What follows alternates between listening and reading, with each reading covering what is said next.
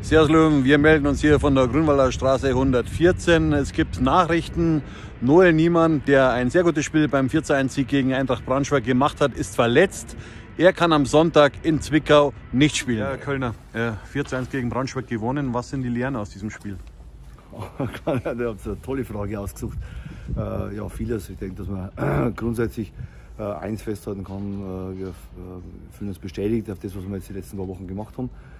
Sehen aber auch noch, dass äh, schon noch Luft nach oben ist und äh, dass wir schon noch an vielen Dingen arbeiten müssen. Aber ich glaube, das ist normal. Wir haben die Woche wieder äh, fünfmal Training und in den fünfmal Training erwartest du automatisch, dass es wieder eine Verbesserung gibt.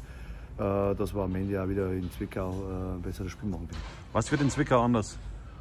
Na gut, äh, vieles. Äh, ich denke, wer die Ergebnisse jetzt von Zwickau in, in den Heimspielen beobachtet hat, sieht, dass es äh, extrem schwer dort zu gewinnen ist. Da haben alle Mannschaften eigentlich nur Last-Minute-Siege erzielt oder in der Schlussphase dann zu, zu drei Punkten kommen. wir haben uns auf ein richtig intensives Spiel einstellen müssen, aber wir sind gut vorbereitet, denke ich, auch dann am Sonntag in Zwickau. Wir sind bis jetzt gut unterwegs und wollen schon auch das neunte Spiel auch in Folge ungeschlagen bleiben. Wer könnte anstelle des verletzten Noel Niemann in Zwickau auflaufen? Trainer Michael Kölner hat schon einen Kandidaten genannt. Prinz Owuso, der soll am Montag richtig gut trainiert haben.